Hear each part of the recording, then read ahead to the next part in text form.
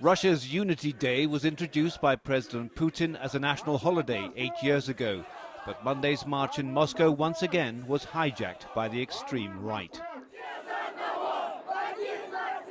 It's supposed to mark the victory of the Russian resistance in 1612 against occupying Polish and Lithuanian troops in the city.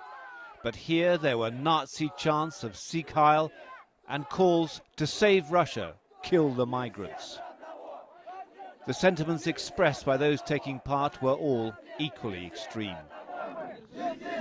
We are Russians. We have to stand together. I'm Russian, and I live on the Russian soil.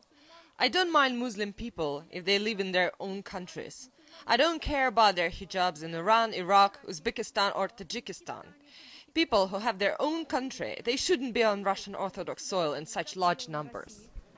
The Russian authorities designated a southeastern suburb of Moscow for the march well away from the city center and heavily policed.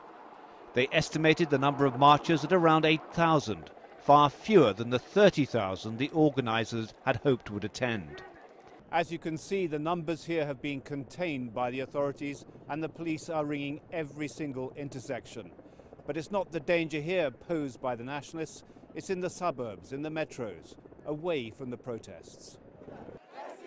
Racial tensions are particularly high this year following riots sparked by the stabbing to death of a Russian last month by an Azeri immigrant in Moscow. In the wake of today's march, leading figures in the Azerbaijan community here have warned their fellow countrymen to take a special care and close down their cafes and restaurants in case they're attacked. David Chater, Al Jazeera, Moscow.